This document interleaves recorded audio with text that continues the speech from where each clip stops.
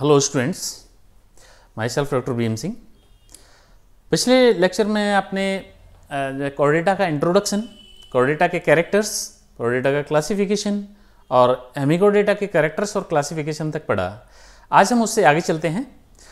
इसके आगे यूरोकोडेटा हम पढ़ेंगे आज। दूसरा सब फाइलम है यूरोकोडेटा यूरोकोडेटा जो शब्द है, वो ग्रीक भाषा के दो शब्दों से मिलकर बना हुआ है। यूरो मीन्स टेल और Chordata means notochord bearing animals Lamarck ने ट्यूनिकेट्स को सबसे पहले इनका नाम ट्यूनिकेट रखा, क्योंकि इनका ट्यूनिसिन का टेस्ट पाया जाता है इनके चारों ओर। कुबीर ने इनको जब देखा तो उसमें मेंटल किविटी को देख करके इनको मोलस्का के अंदर रख दिया। उसके बाद में हेडमैन ने इनको खोजा कोवलावस्की ने इनके एसिडिन टेटपुल का अध्ययन किया, परिवर्धन का अध्ययन किया, और बताया कि ये तो यूरोकोर्डेटा की प्रकृति कोर्डेटा के समान होती है। और फिर उसके बाद में इनको संघ कोर्डेटा के अंदर रखा गया। गारिस्टैंगो पेरियर ने सन अठारह सौ पचानवे, अठानवे में इनका नामकरण करके और इसका नाम यूरोकोर्डेटा रखा। इसके जर्नल कैरेक्टर्स कुछ इस प्रकार हैं। पहले ये पूर्णतः समुद्री होते हैं, यानी कोई भी एनिमल इनका स्वच्छ जल में नहीं पाया जाता, सारे के सारे एनिमल्स जो हैं समुद्र में पाए जाते हैं। ये सभी समुद्रों की गहराइयों में पाए जाते हैं, उथले जल में भी होते हैं, गहरे जल में भी होते हैं। इनमें नोटोकोर्ड के केवल पूछ भाग में ही पाई जाती है, इसलिए इनका नाम यूरोकोडेटा रखा गया। ये अधिकतर स्थानबद्ध होते हैं, यानी एक किसी चट्टान से या किसी सरफेस से चिपके हुए रहते हैं। ये जो है वेलांचली होते हैं या स्वतंत्र जीवी होते हैं। यानी उप, तैरते भी रह सकते हैं और स्वतंत्र जीवी भी कुछ हो सकते हैं। इनके जो लार्वल स्टेज हैं, उनको स्वतंत्र जीवी होती हैं। ये एकल होते सकते हैं या कॉलोनी बना करके रह सकते हैं। इनको समुद्री फवारा कहा जाता है। क्योंकि इनमें ब्रिंकियल अपर्चर से जब पानी भरता है और इनका जो टेस्ट है, वो स्क्वीज होता है, पिचकता है, सिकुड़ता है तो एट्रियल अपर्चर से पानी की धार बहती है और वो पिचकारी के समान पानी की धार निकलती है। इसे, इसलिए उनको समुद्री फवारा कहा जाता है। इनके वयस्क का शरीर अपवासित, यानी डिजेनरेटेड प्रकार का होता है, थैले के समान अखंडित होता है, जिसमें खंड नहीं होते और बिना युग्मित उपांगों के होता है। इनके, इनका रंग, आकार, आकृति में काफ़ी विविधता पाई जाती है। एकमात्र ये ऐसे कॉर्डेट हैं जिनके अंदर मुकुलन पाया जाता है, यानी बडिंग के द्वारा इनमें रिप्रोडक्शन पाया जाता है। शरीर के ऊपर इनमें ट्यूनिसिन का बना हुआ टेस्ट होता है, इसीलिए इनका नाम ट्यूनिकेटा रखा गया है। शरीर में केवल दो छिद्र होते हैं, एक तो ब्रेंकियल अपर्चर होता है और एक एट्रियल अपर्चर होता है, जो एट्रियम की ओपनिंग करता है और ब्रेंकियल अपर्चर फेरिंग्स की ओपनिंग को करता है होता है। इसलिए इनको, दो अपर्चर इसके अंदर पाए जाते हैं। इनकी जो देह गुहा है, वो एट्रियल गुहा के द्वारा प्रतिस्थापित हो जाती है। इनमें देह गुहा एंटीरोसील प्रकार की होती है, यानी रियल देह गुहा होती है रियल सिलोम होती है, लेकिन वो एट्रियम के द्वारा प्रतिस्थापित हो जाती है। इनकी आहार नाल कंप्लीट होती है, यानी माउथ से लेकर के ब्रेंकियल अपर्चर से लेकर के और एनएस तक कंप्लीट होती है, सारे ऑर्गन्स इसमें पाए जाते हैं। इनकी ग्रसनी सबसे बड़ा ऑर्गन होता है और उसके अंदर लाखों की संख्या में गिल्स पाए जाते हैं, छिद्र पाए जाते हैं गिल छिद्रों के द्वारा, और वो परफोरेटेड होती है। ग्रसनी सबसे बड़ी होती है और इसके आधार अधर तल में एंडोस्टाइल इसके सपोर्ट के लिए पाई जाती है। ये सिलियरी फीडर होते हैं फ़िल्टर फीडिंग के द्वारा अपना भोजन ग्रहण करते हैं। इनमें खुला प्रकार का परिसंचरण पाया जाता है।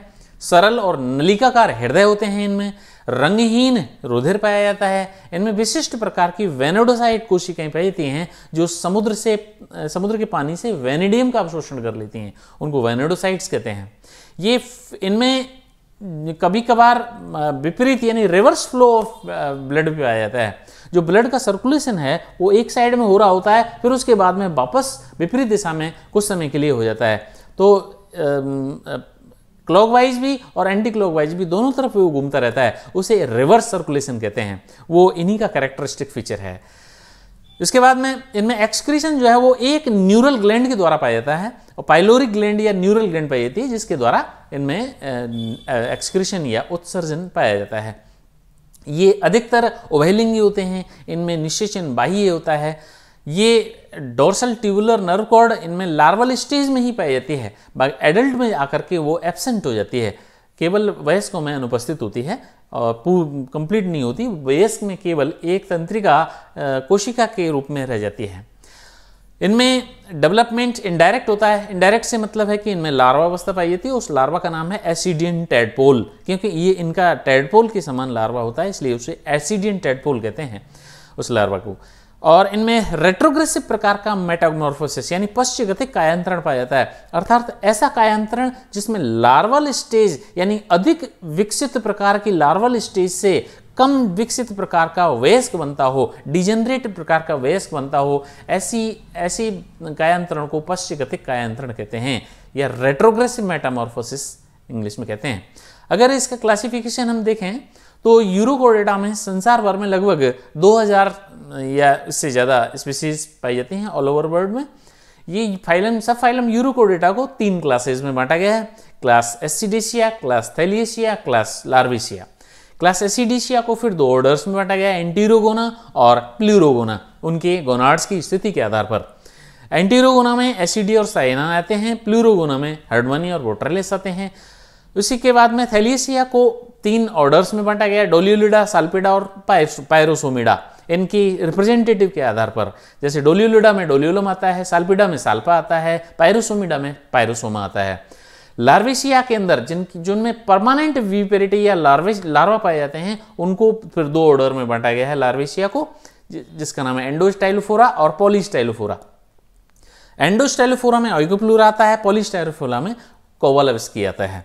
इसके बाद ये इसमें एक हार्डवानिया का, एसिडिया का चित्र है एनाटॉमी जिसके अंदर दो चित्र बताए गए हैं, और नीचे की तरफ़ ये हा, इसका फुट है, और ये इसकी बॉडी है। इस प्रकार से ये थैले के समान की संरचना होती है। उसके बाद में आगे चलते हैं सेफेलो कोर्डेटा सेफेलो कोर्डेटा के सामान्य सेफेलो मीन्स होता है हेड और कोर्डेटा का मतलब होता है नोटोकॉर्ड बियरर यानी वे प्राणी जिनके अंदर नोटोकॉर्ड सिर तक पाई जाती है। केवल पूंछ तक सीमित नहीं रहती, सिर तक, सिर से, पूंछ से लेकर के सिर तक पाई जाती है।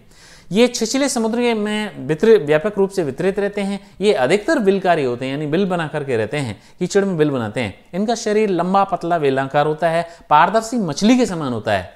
इनमें वास्तविक विखंडन पाया जाता है मेटामेरिक सेगमेंटेशन पाया जाता है। इनमें मेटाप्लूरल फोल्ड पाए जाते हैं।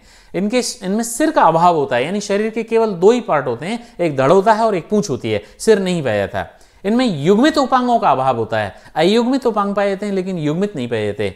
इनमें पृष्ठीय फिन पाई जाती है, कॉडल फिन पाई जाती है और अदर फिन पाई जाती है, लेकिन पेरड फिन नहीं पाए जाते। इनमें बाह्य कंकाल अनुपस्थित होता है, इनकी एपिडर्मिस एकल प्रति होती है सिंगल लेयर्ड होती है। इनमें जो पेशियाँ हैं, वो मायोटोम्स के रूप में पाई जाती हैं।